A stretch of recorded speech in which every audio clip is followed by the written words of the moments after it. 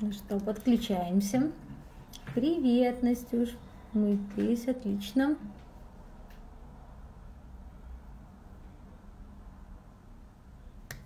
А я пока карандашиком добавляю немного глубины макияжа вдоль ресниц. Угу. Я не пробовала, пока не пробовала.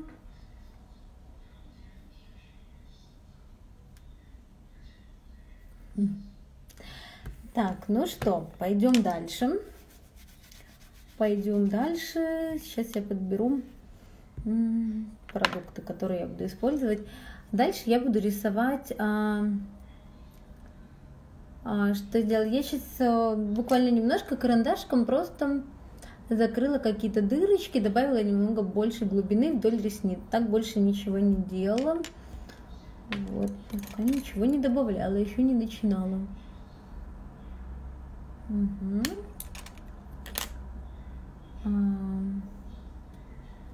Повторите макияж, отлично, повторяйте, отмечайте, отмечайте меня, отмечайте а, профиль, а, воркшоп, чтобы мы смотрели за вашими результатами. Вот. Это же очень интересно, когда есть такая обратная связь, будем общаться, будем смотреть. Угу. Так, ну что, ну что, сейчас я возьму гелевую подводку. Я уже сказала, что гелевая подводка очень классная, мягкая, пластичная и не сушит слизистую. Да? Сейчас я тебя немножко подправлю, что у меня такой вид. А, и сейчас я возьму кисточку. У меня нет а, кисточки Makeup Secret а, для стрелок. Это я не, не нашла среди своего арсенала, еще не пробовала. Вот я возьму обычную кисть, э, скошенную, просто тоненькая скошенная кисть. У меня вообще самая дешевая, самая простая для ногтей. Наберу подводку и сейчас буду работать подводкой. На самом деле я а, подводку даже э, чаще всего не снимаю фольгу, либо ее вот так вот отворачиваю и у меня подводка всегда расходуется, я ее не люблю разбавлять. Мне нравится подводка всегда а, в том виде, в каком она есть, потому что когда разбавляешь, все-таки меняется текстура. Вот. И сейчас я тоненько-тоненько вдоль ресниц проработаю ресничный ряд. Я сейчас не рисую толстых стрелок. Угу. Мне нужно просто сделать а, четкий контур такой, затемнить контур глазом. Угу.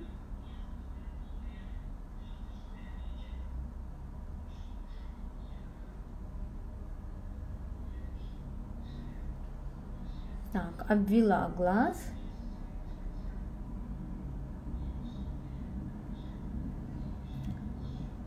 Также закрашу верхнюю слизистую. Аккуратненько.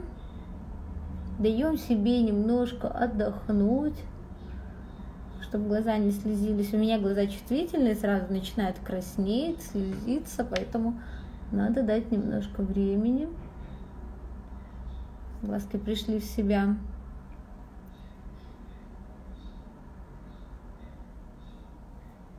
Так, еще пару секунд поморгать. Для меня очень сложно все, что касается стрелки, слизистой, ресниц. Ну, ничего, я выдержу. Угу.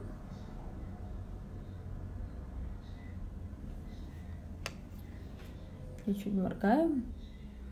И пока проведу по второму глазику.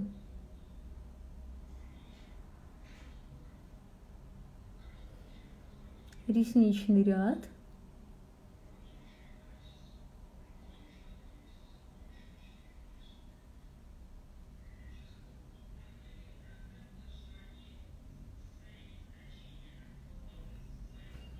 Отдыхаю. Дальше. Вдоль ресниц очень тонко.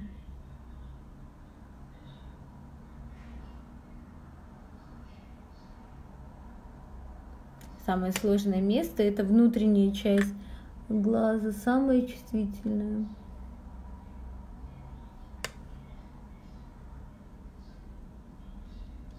А, насчет стрелочки, я ее не дублирую. Я сейчас просто провела а, такую линию вдоль роста ресниц. Стрелка у меня останется в карандаше.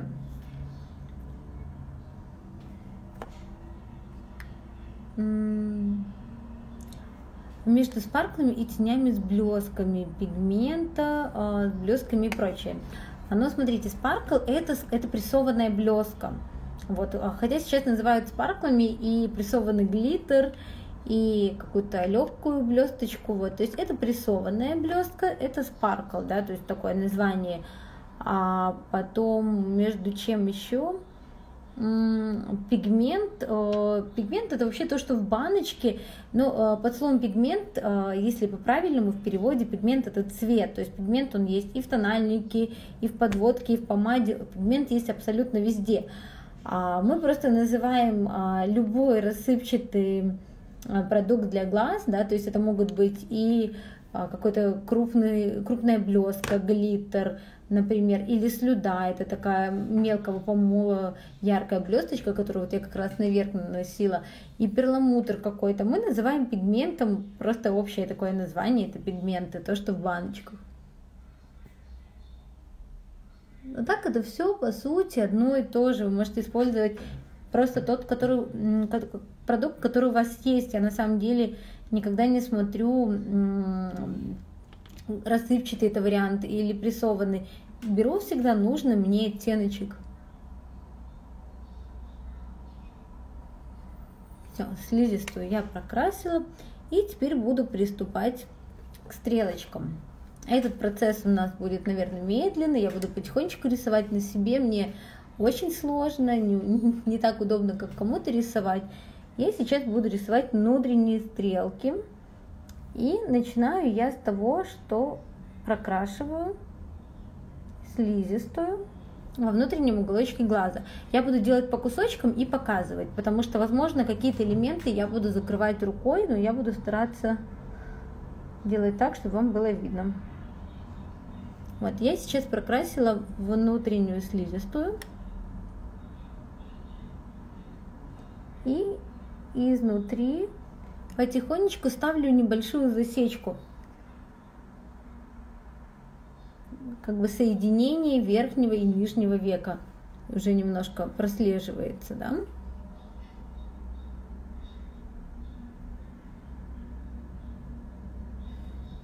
По чуть-чуть, никуда не спешу.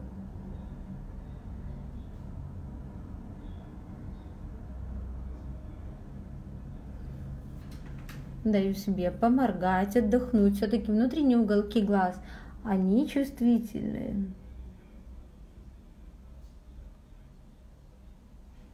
И потихонечку начинаю соединять с нижним веком, с нижней слизистой.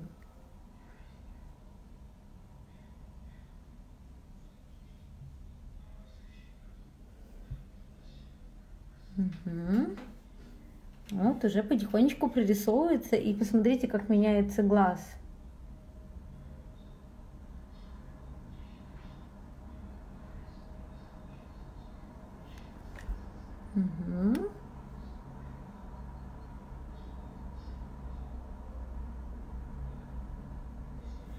Расскажите, кто любит рисовать внутренние стрелки, кто себе делает или клиентам? Поделитесь, пожалуйста, есть ли у нас тут любители стрелочек?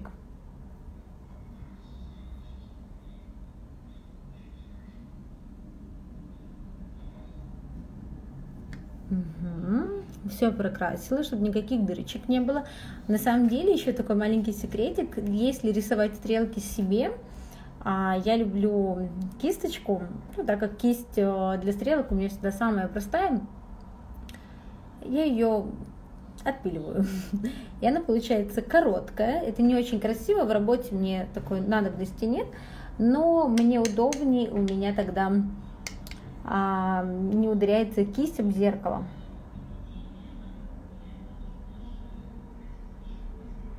Но это лично для себя. Первый раз пробуйте, ну удачи вам. Любите стрелочки, ну да, руку нужно набивать. Здесь стрелки любят много практики. И смотрите, я еще заполню слизистую во внешнем уголке глаза. Да, такой маленький лайфхак, это для себя очень подойдет. Угу. Посмотрите, такой небольшой штрих, да, как наша стрелка. У меня сейчас, а, правда, красные глазки. Вот, но уже сразу макияж поменялся. Я все-таки, наверное, немного поярче еще проработаю складку века, но это уже не обязательно. На самом деле. Здесь уже можно делать, как вам нравится. И такая стрелочка подойдет к любому макияжу, и к смоки, а, только, наверное, не черный смоки, а какой-то коричневый, шоколадный, вообще абсолютно любой, и добавили такую маленькую изюминку, и глазки сразу стали такие хитренькие. Как бы хотелось пойти учиться, к вам очень приятно. Очень приятно мне. Так, ну что, будем приступать ко второму глазу. Так, напоминаю, что сначала я прорисовываю слизистую. Так, второй глаз немножко тяжело со светом получается. Я буду каждый шаг показывать. Проработала слизистую сначала во внутреннем уголке глаза. А, сколько времени у меня выходит на макияж. А, если я крашу клиента, наверное, где-то час, час 15, в зависимости от о, сложности макияжа. Бывает иногда какие-то постоянные клиенты, с которыми мы очень много разговариваем, смеемся, хорошо общаемся, бывает дольше, конечно, в таком случае. Вот, но обычно такое время. Все, соединяю верхнее и нижнее веком. Кстати, кто боится работать подводкой, вы можете взять просто черный карандаш. Вот я себе так делаю. Я беру черный либо коричневый карандаш. Чаще всего на день я беру коричневый. А я не очень люблю графичные стрелки во внешнем уголке глаза, но очень люблю внутренние на себе. Я беру коричневый карандашик и просто коричневым карандашиком рисую вот здесь маленькую стрелочку. Так как карандаш не очень жирный, он не плывет, он очень хорошо вам поможет нарисовать такую стрелку, и она будет мягче. Она не будет такая яркая, не будет такая насыщенная, как гелевой подводкой, и при этом вам не будет даже так страшно рисовать, когда вы рисуешь карандашом, знаешь, что а, ничего страшного, и даже руки более уверенно рисуют. Этот макияж, кстати, подходит на любое веко. Посмотрите, я сейчас визуально себе опустила веко, и у меня ничего не поменялось. У меня сейчас нет какого-то особого макияжа во внешней а, части глаза. А если нависшее веко, можно сделать больше как смоки. В принципе, такая стрелочка, как у меня, прекрасна и для нависшего века, потому что нависание как раз будет здесь, и стрелочка будет ниже. Вот, то есть здесь суть а, именно в стрелочке у нас которая подойдет любому глазу. Вот потихонечку начинаю вытягивать. И смотрите, я достаточно долго делаю, отвлекаюсь, и у меня подводка а, не прекрасно цепляется. То есть бывает такое, что если рядом уже высохла подводка, и ты берешь жирную подводку и рядышком начинаешь рисовать, то она цепляется за сухой слой, который уже высох, и это получается не очень красиво, не очень приятно, в общем, может подсыпаться. Здесь такого нет, потому что, опять-таки, повторюсь, подводка очень, а, очень пластичная.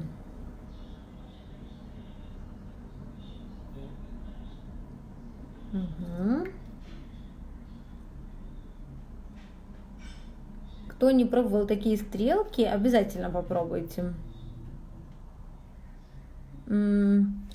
Если, да, не держится никакой карандашик, попробуйте подводку, потому что подводка, она, конечно же, более устойчивая.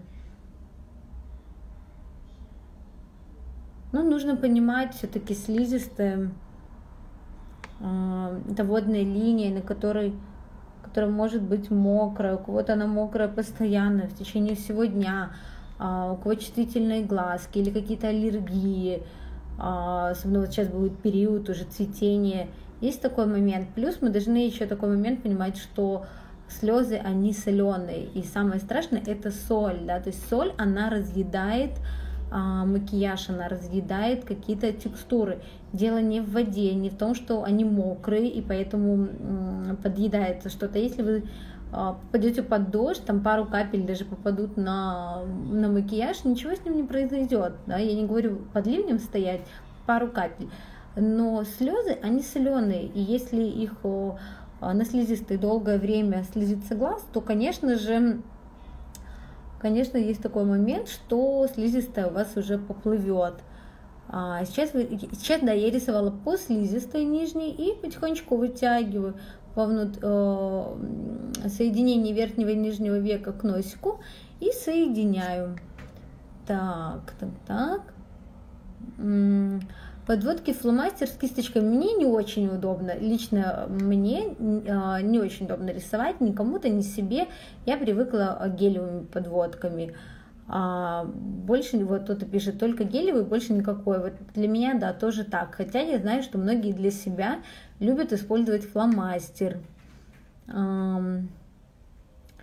Так, а если подводки определенного цвета, можно с чем-то смешать? Если да, то с чем? Не совсем поняла вопрос. Между собой подводки смешать или, или что вы хотите смешать? Так. А, краснеет слизистая, да. А, есть такой момент, у меня вот э, в последнее время стали очень чувствительные глаза, и сегодня как раз таки такой же момент, я только прикасаюсь, и у меня вот, я даже не успела начать краситься, я просто умывалась, мне что-то попало в глаз, и у меня вся слизистая красная. Такое бывает. А, так, румяна в макияже были у нас э, вот такие гибриды Сейчас а, нам напомнит номера теплые и холодные. Я два оттенка смешивала. Так, ну что, давайте дорисую я все-таки стрелочку. Конечно, задавайте вопросики, обязательно все прочитаю, на все отвечу. Здравствуйте, кто к нам присоединился. Так, аккуратненько. Угу. А, чтобы из черного цвета получить подводку другого цвета. Ну, вы можете в нее какую-то там фиолетовую, допустим, добавить, у вас получится темно-фиолетовый, но не какой-то там третий цвет. То есть она черная, она будет затемнять любой цвет. А, вот, румяна нам подсказывают. Я сейчас по капельке буквально, ой, закончу уже подводку, потому что уже глаза мои совсем растрогались.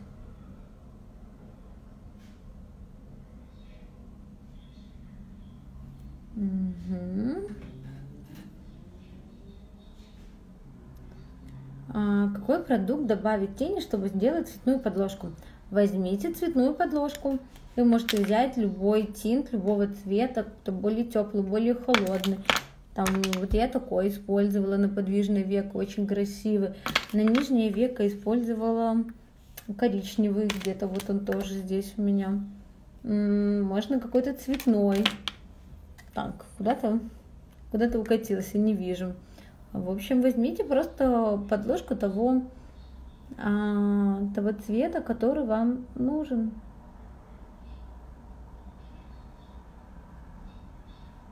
Тинты, кстати, можно смешивать. Я иногда смешиваю какие-то оттенки, но смешиваю близ, э, близкие цвета, конечно же, не смешиваю слишком разные, потому что а, мы должны понимать, что кремовые тени это стойкая текстура, которая быстро хватается, и пока мы смешиваем, она уже начинает застывать. Вот, поэтому слишком разные оттенки мы не смешиваем. А, как убрать, если случайно накосячили если накосячили стрелки, ой, я даже... На, это самое страшное. У нас, кстати, еще никто не косячил. А, и у меня такого не было, чтобы ну, прям сильно накосячить. Одно дело, ну, если буквально где-то миллиметр, где-то рука дрогнула, можно расширить стрелочку. Вот. Если у вас была блестка, то здесь, кстати, очень легко будет подправить. Вы можете просто жесткой кисточкой потереть то место, где была блесточка, там, где вылезла стрелочка, и блестка осыпется, и, соответственно, выровняется ваша линия, например, и добавить э, наверх блески плотным слоем, они тоже закроют какой-то а, какую-то неровность. Но если где-то очень сильно, то не знаю, тоже такой момент тяжелый, надо уже помогать какими-то кисточками, но явно не палочкой э, смоченной в мицеллярку. Опять-таки тоже, если вы где-то далеко попали, ну, тут не, не страшно убрать, потом а, можно закрыть тоном. А было ли на вашей практике, когда клиенту не понравился макияж? Ну, такого, что прям совсем не понравился, конечно же, не было. Потому что, сейчас я, знаете, чуть-чуть продлю нижнюю линию а, верхней стрелочки. Чуть-чуть. И сейчас расскажу.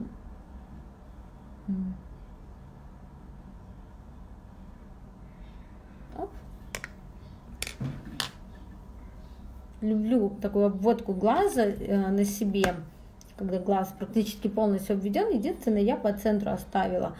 Вот, можно взять, например, какой-то э, цветной каял или какой-то каял знаю, светлый и подчеркнуть, глаза еще больше откроются. Так, что я хотела взять?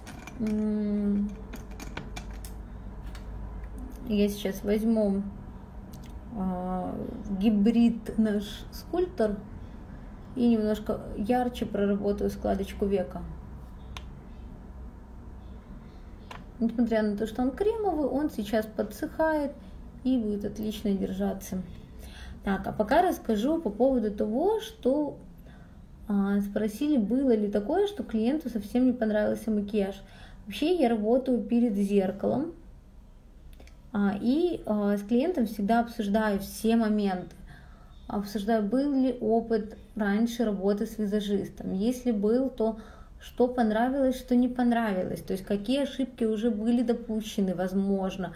То есть вам клиент уже скажет, там, я не люблю плотный тон, или я не люблю там а, когда мне прокрашивают слизистую, там, или меня накрасили, мне сделали узкие глазки. То есть вы уже знаете, что вам нужно избежать и на какие моменты обратить внимание.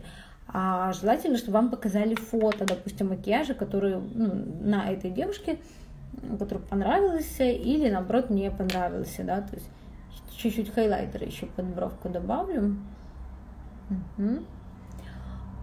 Вот, то есть все, а, все спрашиваю, спрашиваю, какая, как ведет себя кожа, какие любит а, клиент использовать тональные крема сам, допустим, плотные, легкие, как часто красится, это тоже очень важно. Если ваш клиент говорит, что я совершенно не крашусь, а тут хочет яркие смоки, то очень маленькая вероятность того, что ей понравится это.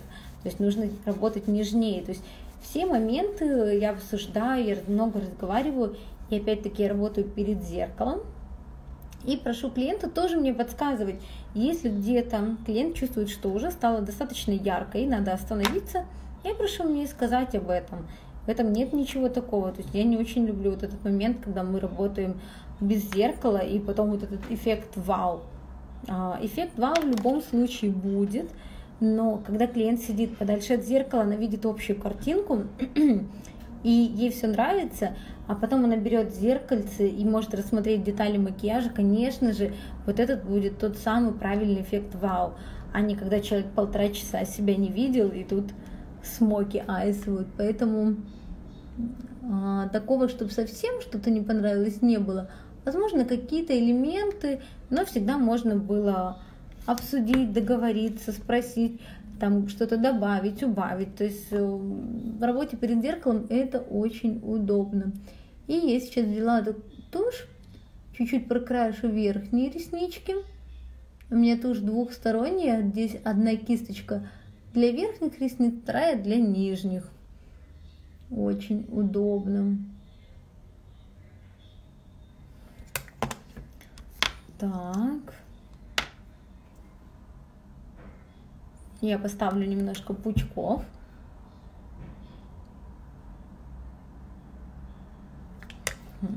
Самое сложное это тоже э, ставить пучки, ставить ресницы на себе. Расскажите, кто э, ставит себе реснички с легкостью, а для кого это сложность? Очень интересно. Вот я как редко крашу, для меня вообще все на себе делать сложно. Так, сейчас я немножко проморгаюсь. Спасибо за ответы вам, спасибо. Спасибо, что с нами.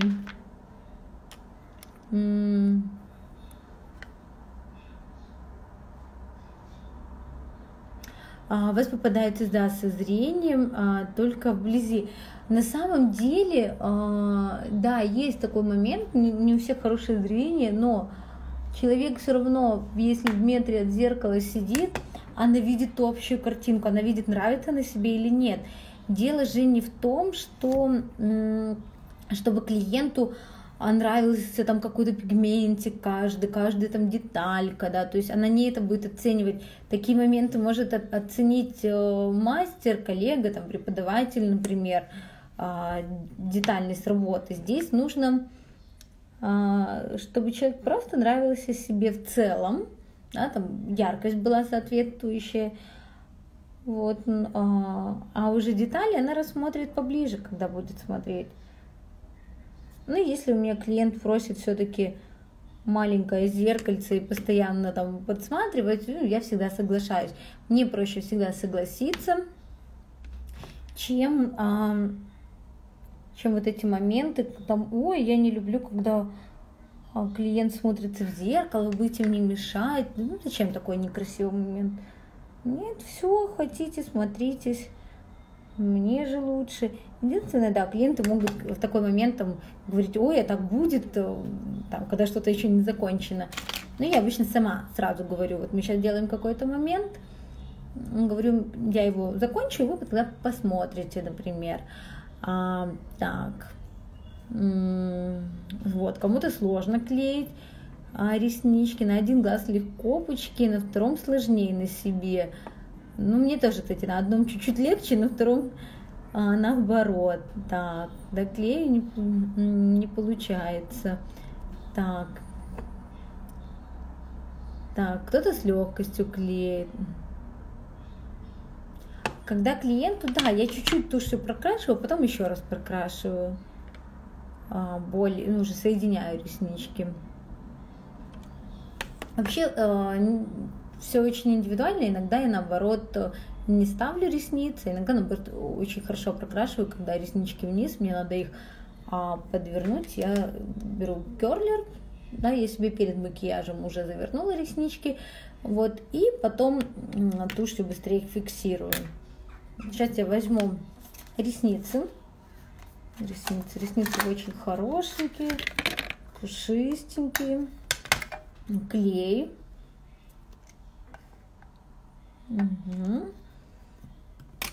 И пинцет. Спасибо за смайлики. Так, я сейчас беру десяточки.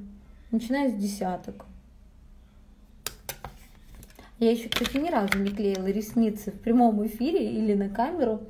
Вот, Ой, для себя это оказывается очень неудобно. И я ставлю сверху реснички. Так, опа. Сейчас я поставила посерединке. Так, все, десяточки. Теперь беру 12. Все-таки хочу подлиннее немножко. Я пока меряю, смотрю, а, какой размер ресниц я буду использовать, потому что разная партия, разные а, длины ресниц могут прийти. И мне нужно понимать, какой размерчик мне подойдет так вот сверху ставлю. Я уже ставлю 12.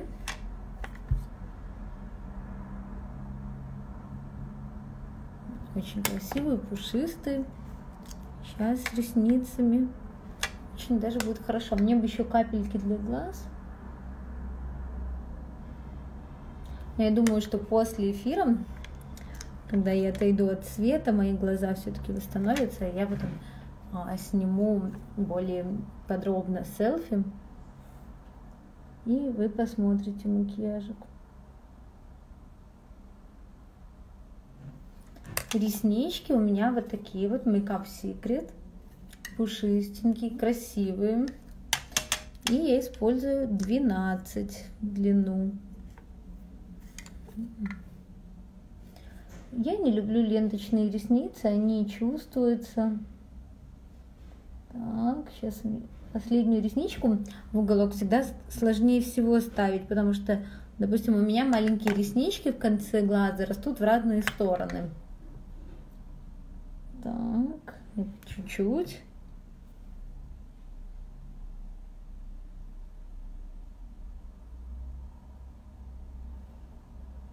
Мне нравится, что пучками можно добиться любого эффекта, поэтому я всегда использую а, пучки.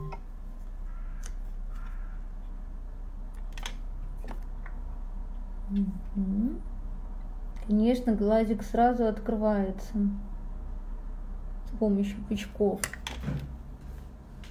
Какой глаз, да? Хотя я еще только половинку заклеила, и на самом деле я даже себе ставлю не так уж густо, как иногда могу ставить клиенту. Угу.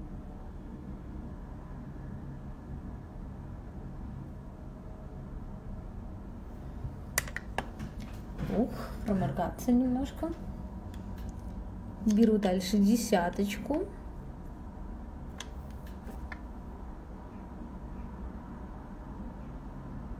Так, здесь мне уже сложнее ставить. Но здесь мне нужно всего лишь пару штук.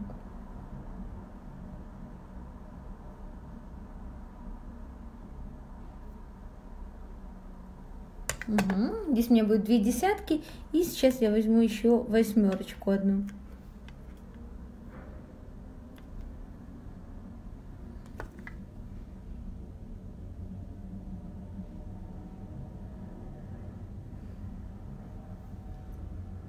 У меня сейчас акцент идет именно на внешнюю часть глаз. Потом я еще возьму тушь и приподниму реснички.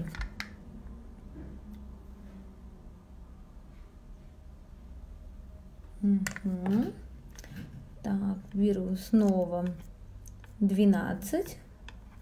Если вы любите более густой эффект, можно еще поставить несколько пучков и будет такой вообще пушистый глазик, он еще больше раскроется. И опять-таки ресницами всегда можно а, сделать разную форму. Вы можете больше длинных посерединке или больше в сторону. Я сейчас делала в сторону. Хочу такой больше кошачий или лисичий глаз такой. Лисий глаз. Так, на второй глаз мне уже гораздо сложнее ставить. Угу.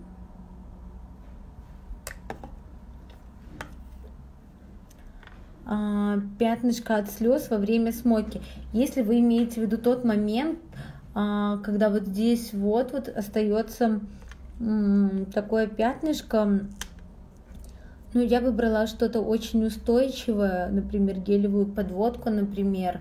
Но опять-таки а, зависит такой момент, если клиент еще продолжает плакать, и, допустим, вы завершили макияж, она все равно еще а, плачет, там глазки слезятся, и вот это вот место, например, мокрое, то тут вам ничего не поможет. Если она уже закончила плакать, да, то есть был только момент недолгий, когда слезился глазик, то тогда не страшно, вы сможете там повторить кремовую тень, например, или эм, там подводку, тенями закрыть, то есть карандашом, это все поправимо. Но если глаз мокрый, то здесь вам ничего не поможет. У меня бывали такие ситуации, у меня есть клиентка, у которой всегда, практически всегда течет один глаз. И она всегда делает смоки, причем всегда очень-очень яркие. Что она делает? А, Берет потом дома карандаш, когда глаз полностью успокаивается. А там проблема именно в том, что глазик аллергенный, и э, аллергия даже на кисточки натуральные. То есть не на косметику аллергия, а именно на натуральные какие-то э, продукты и даже на ветер аллергия, просто так. То есть настолько, ну, может не аллергия, а чувствительный глаз, у нас есть такая особенность, мы это знаем, мы аккуратненько с этим работаем. И она приходит домой, потом берет карандаш и просто закрывает эту дырочку. Ну, потому что других вариантов у нас А, нет, но это надо ждать э, иногда несколько часов, когда глаз полностью перестанет слезиться и высохнет. Приветик! Кто к нам присоединился еще? Так, заставляю реснички. Ой, осталось самые сложные. Вот э, для меня всегда правый глаз, внешние реснички самые сложные. Сейчас я взяла десяточку. Я еще пока оставлю это место на попозже. И десяточку сюда ставлю посерединке. Угу.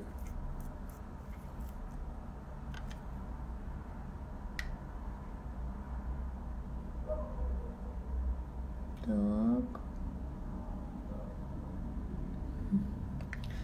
Все, осталась восьмерка и внешний уголок.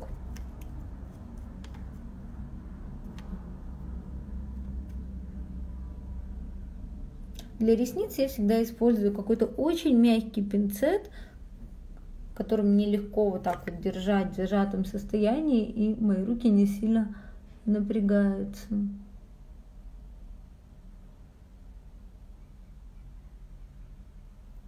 Угу, тут не получилось пока.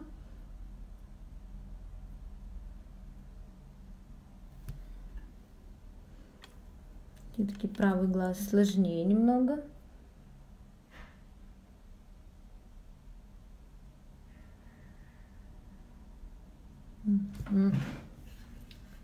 Так, не выходит еще. У меня еще некоторые реснички растут сейчас а, в разные стороны, потому что я стала пользоваться всякими сыворотками. Сейчас проклеить ресницы стало гораздо сложнее, но я думаю, что скоро мне это уже понадобится меньше. Так, ну что, беру снова 12. И сейчас я добавлю немного клея и буду ставить в уголочек.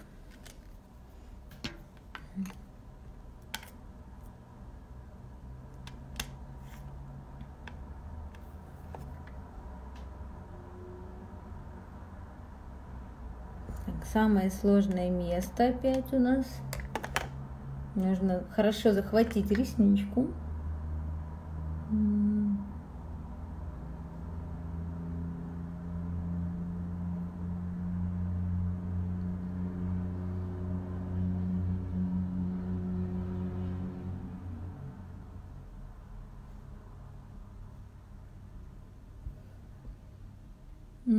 Эта девушка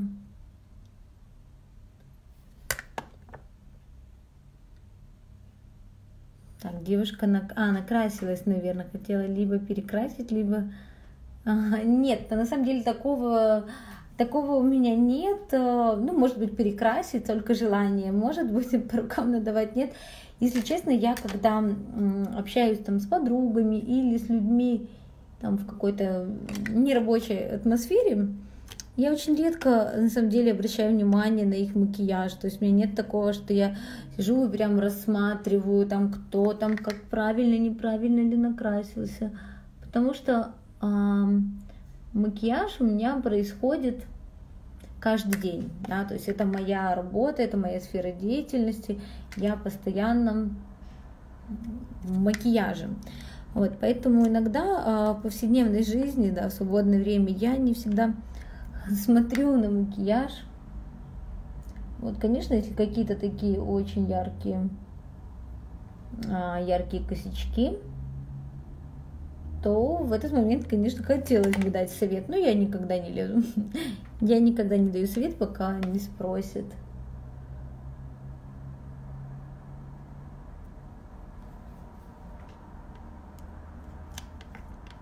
Потому что все равно есть а, люди, которые могут как-то неправильно делать э, в макияже некоторые моменты, но им так нравится, и им все равно, что им там профессионал, не профессионал посоветует, они так считают, считают так правильно, нужным, мне кажется, что им так идет. Никогда в жизни не, не переубедите такого человека, поэтому я никогда а, не лезу своими советами, пока меня не спросят. И сейчас я возьму еще немножко туши и соединю реснички. Очень красивые ресницы.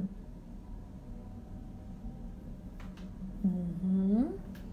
И второй глазик.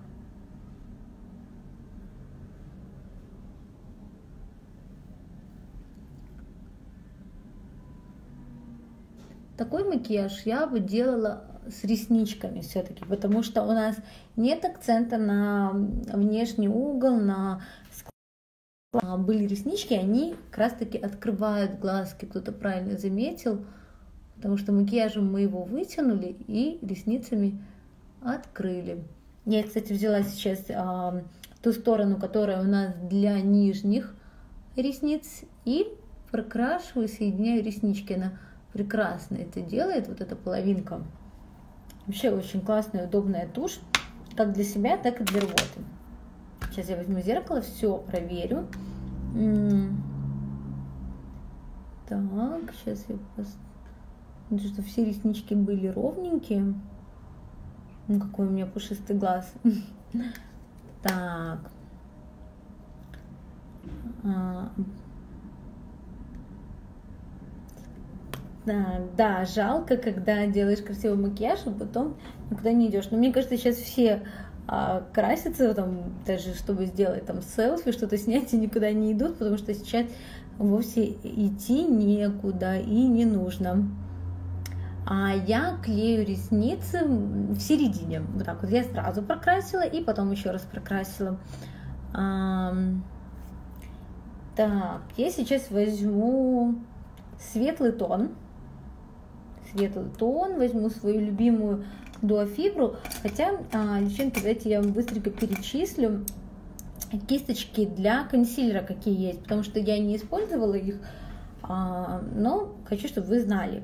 Очень а, классная мягкая кисть под номером S17. Она вот именно мягенькая, вообще не раздражает кожу. А здесь у нас чувствительная и нежная кожа, очень мягкая. Ди может, кстати, и кремовые тени растушевывать, да, но видите, как для глаз очень удобно. Более упругая, когда вы используете более плотные текстуры, это может быть и кремовые тени, и консилер G18, да, тоже такая удобная форма.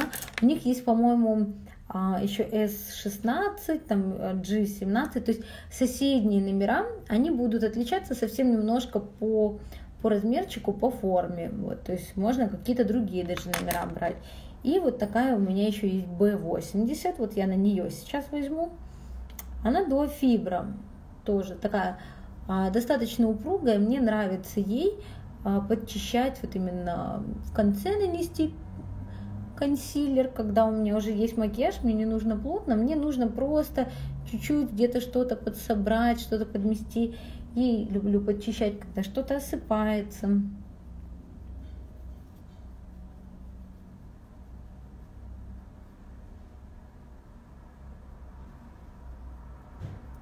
Так, ну что, с консилером, да, либо со светлым тоном уже смотрится получше. Я сейчас прохожусь, если где-то что-то у меня, а, допустим, у меня здесь есть а, высыпания, такие достаточно яркие. Сейчас они в самом разгаре. Вот, и я закрою тоном. Так, в челленджах, а, ну почему бы и нет, я все люблю. Так. Умничка, красотка, спасибо, очень приятно. Я надеюсь, что вам понравился эфир, что вам понравился макияж. Надеюсь, что я была для вас полезна, что вы открыли для себя а, какие-то продукты новые, а что а, немаловажно, в Makeup Secret очень много классных продуктов, и я использовала продукты, те, которые я использую постоянно в своей работе. То есть у нас такой мастер-класс, а, знаете, когда это очень редко такое бывает, когда ты можешь на а, во всем бренде да, выбрать все продукты и все продукты, которые ты используешь. То есть не пытаться из чего-то там выкручиваться или что-то а, заменять. Я использовала абсолютно все продукты, которыми я работаю, которые мне нравятся, которые в, моей, в моем рабочем кейсе, в моем кейсе для обучения, так и для клиентов. Я сейчас еще немножко пройдусь по бровям, потому что у меня стали более яркие глазки, мне где-то захотелось добавить бровей. То есть сейчас у меня такая очень быстрая работа идет, я все добавляю, где мне чего-то не хватило. Сейчас добавлю коррекции всех моментов. То есть в конце макияжа, когда у меня уже готовы глаза, я всегда делаю до коррекцию, там, до оформления бровей. Я, допустим, брови никогда не фиксирую в начале. Я брови фиксирую уже в конце, потому что мало ли мне понадобилось бы сейчас вычесать тень или карандаш, вдруг у меня брови получились бы ярко по отношению к моему макияжу. Или наоборот, мне нужно добавить, а у меня бы сейчас был гель, у меня бы все сыпалось, это вообще было бы все очень некрасиво, ужасно. А, спасибо, вы шикарные, ой, как приятно, мне очень-очень приятно. Обратная связь, она, конечно же, вдохновляет, заряжает, и хочется делиться еще и еще и еще. Так, ну что, брови подправили. А далее, что я возьму? Я возьму скульптора еще добавлю. Так как пудрочка была очень тонкая, и я практически не наносила на щечки, у меня прекрасно ляжет а, скульптор. Кстати, еще быстренько расскажу про кисти для хайлайтера. Как я могла забыть. А, я показывала кисть, которую я наносила пудру B61, которую можно нанести и хайлайтер, и румяна. Даже можно коррекцию сделать, если у вас а, компактная личка. Вот, то есть очень удобная универсальная кисть. Но также есть еще две очень крутые кисти. Я сейчас девчонкам на курсе говорю, что мне нравятся все три. И выбрать очень тяжело, можно по дизайну выбрать. А, очень люблю вот такие вот формы. Вот это у меня немножко распушилась, потому что сохла сама по себе. Ее можно а, одеть на нее сеточку, и она будет более собранная. А, это кисть под номером B110 идеальная кисть для румян. Ну, просто вообще одно наслаждение. Опять-таки, тоже можно нанести пудру на центральные участки, можно нанести хайлайтер. Ну, в общем, это просто перышко для любви, просто очень классная, всем советую. И еще одна моя тоже очень-очень любимая. У меня, посмотрите, уже все с нее стерлось, а это значит, что я очень часто ей работаю. Мне кажется, эта кисть есть э, у всех моих учеников. А, кисть Makeup Secret S13. Это очень-очень мягкая синтетика подойдет как для кремовой коррекции, так и для сухой. Она прямо зашлифовывает, она прямо, знаете, как а, хайлайтер может так положить, что он прям соединяется с кожей и не виден на поверхности, он прям внутри кожи и можно добиться очень яркого а, свечения за счет того, что это синтетика, она очень хорошо его заполирует в кожу. Так, ну что, давайте я сейчас быстро всю коррекцию свою продублирую, а то я уже нанесла и забыла. Вот, просто не все кисти я использовала, но хочу, чтобы вы знали и могли приобрести те самые а, крутые кисти, которые у них есть. А, ой, как неприятно читать ваши слова. Эфир обязательно сохраним. У нас есть первая часть, если вдруг кто-то не видел, где я делала в начале макияж. Вот сейчас сохраним вторую часть. Я, я уже начинаю быстренько работать, потому что я боюсь, чтобы мы а, успели вложиться вот в эту часть и не входили в третий эфир, потому что уже все равно остается совсем немножко.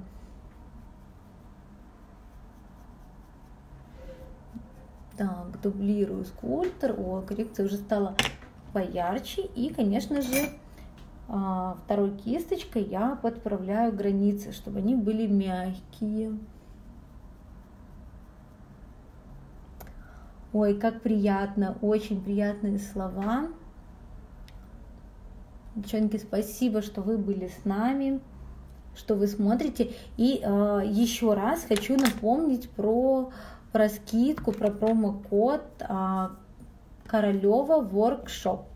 Промокод вводите на сайте, и он дает 15% скидку. Скидка это действует до 19 числа включительно. Поэтому у вас есть целых 5 дней, чтобы сделать классный заказ. Вот вам дублируют промокод и заказать очень крутые продукты.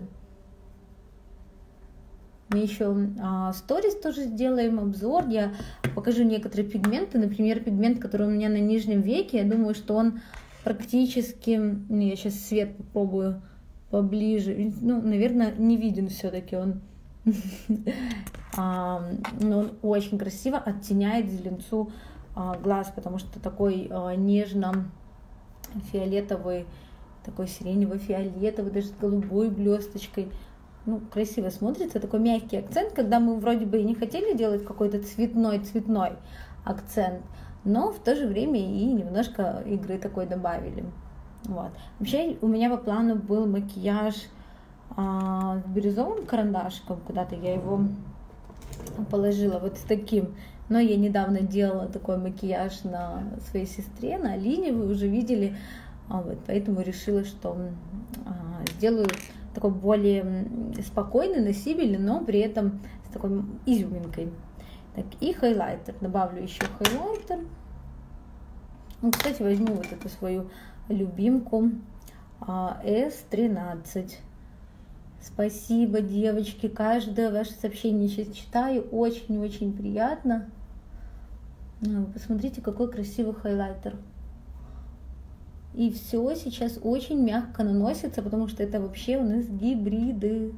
Самая интересная текстура. Я уже рассказала в начале эфира, что я такого не пробовала на самом деле. Очень красивый хайлайтер. На самом деле я ничего не преувеличиваю. Те продукты, которые мне действительно очень нравятся, я так и говорю, что они мне, они мне нравятся. Так, ну что, приступим к губам.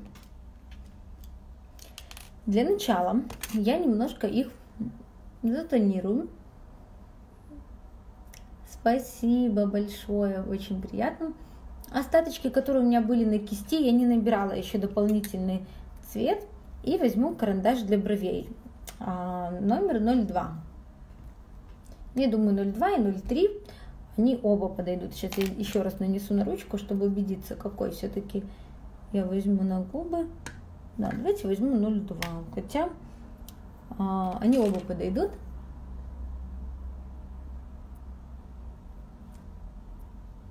И делаю контур. Сначала по центру, и потом соединяю из уголочков. Веду наверх и здесь соединяю.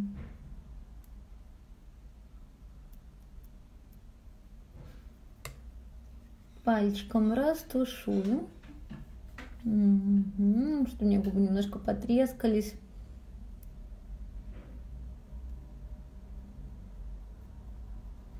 Заметила такой момент, что тоже, когда очень много увлажняешь губы, они начинают потом все равно как-то сейчас они у меня не в самом лучшем состоянии, хотя в последнее время я прям каждый день, по несколько раз на день наношу бальзамы, скрабы, кремики для губ, кремики для век наношу на губы. В общем, очень много ухаживала за губами, но что-то вот сейчас произошел какой-то сбой. А, и сейчас возьму карандаш для губ э, под номером 39. Ой. И добавлю на контур.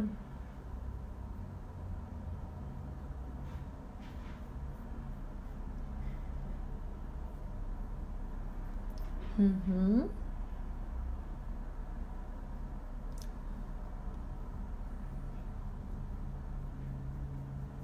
У меня еще немножко собралась беленькая, все-таки я много говорила. Ну, ничего страшного. Я думаю, что вы все понимаете. И сейчас нанесу помаду. А, я уже показывала тоже в сторис на своих работах. Помада просто нереальная, мягкая, увлажняющая и шикарная палитра нюдовых оттенков всего у нас используются нюдовые оттенки. Невесты очень любят нюды. И, в принципе, даже на макияж приходят клиенты, всегда просят яркие глаза и нюдовые губы. Поэтому хорошая нюдовая палитра а, всегда очень радует. И здесь помады увлажняющие, мягкие. То есть они не будут подчеркивать вот эту всю историю. Я надеюсь, что на камере она не, не видна, а, которая вот у меня сейчас происходит. У меня два оттенка. Два очень классных оттеночка. 1.04 такой более персиковый. Тоже, когда я использую в работах, у меня часто спрашивают, что же это на губах. И второй более холодный, оттенок 06. Вот его я и нанесу себе. То есть вот этот я люблю на, а, больше на светленьких девочках. Смотрите, какой вот я на фоне кожи покажу. На блондиночках будет вообще очень классно смотреться. На себе шестерочку. Можно, кстати, смешать. И пальчиком распределю. такой холодный. Ой, у вас тоже 0,6. Скажите, что он классный. Вот он прям такой вот пыльный. Можно ярче сделать контур, но а, мне нравится, что у меня такие а, нюдовые губы и а, обводка глаза такая черная.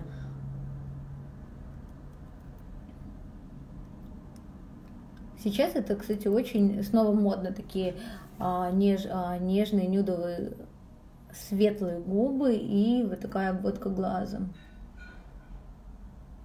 И 0,4 тоже очень красиво. На, на светленьких девочках я люблю вообще смешивать и очень часто наношу помады вообще такой кисточкой, которой я наносила а, кремовые тени на подвижное веко. У меня их две.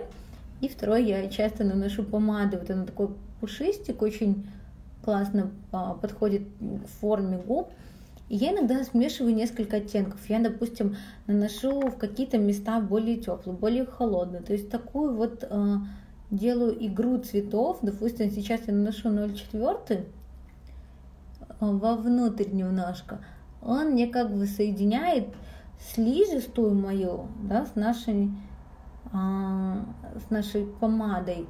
И изнутри более таким ярким цветом. В жизни это больше видно. Вообще люблю экспериментировать с помадами, и у меня всегда в работе несколько оттенков. То есть такого, что там одна-две, очень редко бывает. И я вот так вот одну нанесла, вторую, третью, и тогда получается очень а, крутые оттенки, неповторимые, что самое главное. То есть парочку помад взяли, и у вас получился неповторимый оттенок. Вот помада, а, это э, нюдовая серия, вот нам подсказывают, вот у меня 0,4 и 0,6, вот я обе нанесла, в итоге 0,4 тоже добавила, и мне кажется, даже живее немножко стало, такой более, даже как-то к румянцу к моему подошел, я даже сейчас еще на фоне губ, мне еще захотелось добавить румян, возьму, я смешивала два оттенка одинаково, но я сейчас возьму более тепленький, и его еще чуть-чуть добавлю. И еще сделаю, кстати, кое-что. А, то, что я сказала, что оставлю на конец. У нас заканчивается время, у нас осталась одна минутка. Девчонки, если какие-то вопросы, спрашивайте, мы будем завершать эфир. И я быстренько скажу, что пигмент, который я наносила самый первый на кремовую тень, я нанесу на щеки. Я соединяю румяна и хайлайтер. Очень красивый перламутр. Он у нас в оттенке пиони. Пиони. Очень красивый. То, что я сказала, что я люблю наносить его на лицо. Очень красиво. Класс. Ну что, а, мы прощаемся. А, если у вас еще остались какие-то вопросы, пишите мне, пишите на страничку Makeup Secret. А, мы будем вам отвечать и подсказывать. Позже выставим фото и выставим все продукты, которые использовались в макияже. Все, всех люблю, всем спасибо, что были с нами в эфире.